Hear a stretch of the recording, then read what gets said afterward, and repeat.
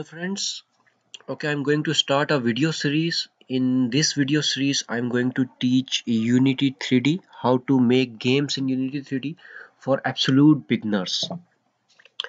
Okay, what you need to know before you can uh, watch these videos is simple. You just need to know uh, the little bit knowledge of C Sharp because the programming language that I'm going to use for developing games in Unity is C Sharp. So you should have some knowledge about C Sharp. Uh, it doesn't matter if you have knowledge about 3D or not. I'm going to teach. I'll try my best to teach you about 3D models and 3D development. Okay, the first thing that you need to do is download the software. Uh, the website URL is unity3d.com.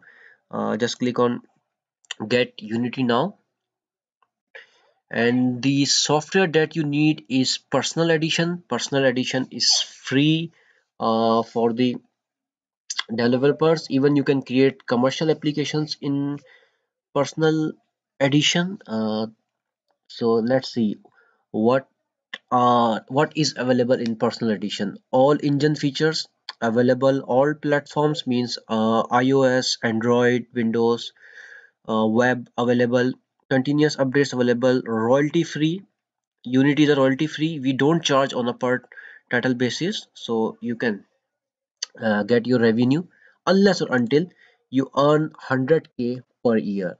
If you earn 100k per year then you need to buy the professional version pro version of the unity.